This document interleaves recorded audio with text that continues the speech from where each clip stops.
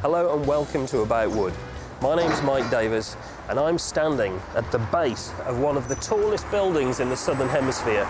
This is the Sky Tower in Auckland City, New Zealand. Now, although the foundations of this building can't be seen, without them, it would be absolutely impossible to create such a, a fantastic spectacle.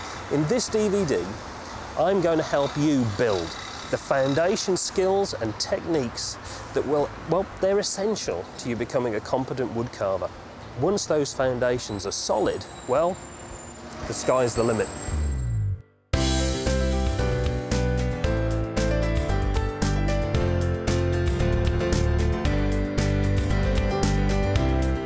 In this episode, we're going to look at tool selection, sharpening and maintenance, and the significant six techniques, all of which are core components to wood carving. We're then going to look at timber selection, and I'm going to give you a basic project to put your skills to the test. Then I'm going to give you a second project that'll make your techniques become second nature. We're going to look at the carving process before taking a look at some tips and tools that'll make carving so much easier.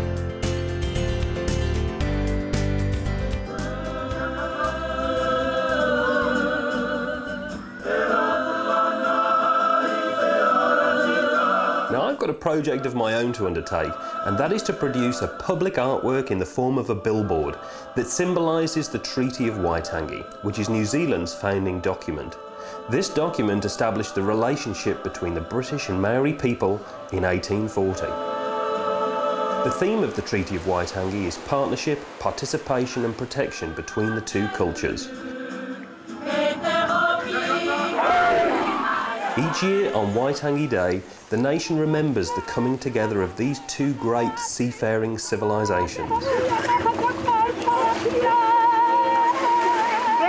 The Maori people travelled thousands of nautical miles to New Zealand from neighbouring South Pacific islands in finely carved canoes called waka. I've been introduced to master carver Blaine Te Rito. Blaine is an ambassador for the Maori arts and I've been given this great privilege of being able to work with Blaine to create the carved billboard. We've got to create the carved billboard on the side of Maori Television's office building in the middle of Auckland City and we've got just four weeks to complete it.